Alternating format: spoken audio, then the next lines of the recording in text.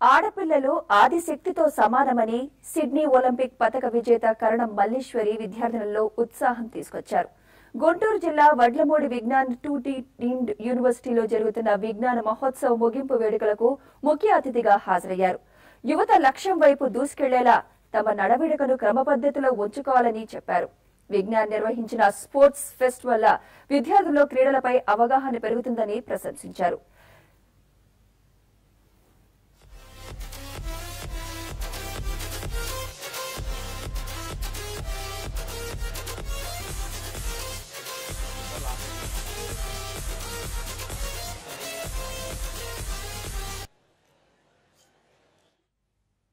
Success అవ్వాలి అంటే అది ఒక్క రాత్రిలో ఒక గంటలో ఒక నెలలో అయ్యేది కాదు.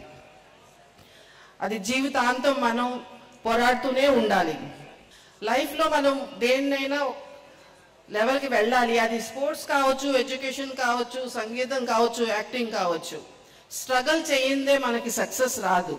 ఎక్కడైతే మనం ఓడిపోతామో దాంట్లోనే గెలుపు కూడా ఉంది.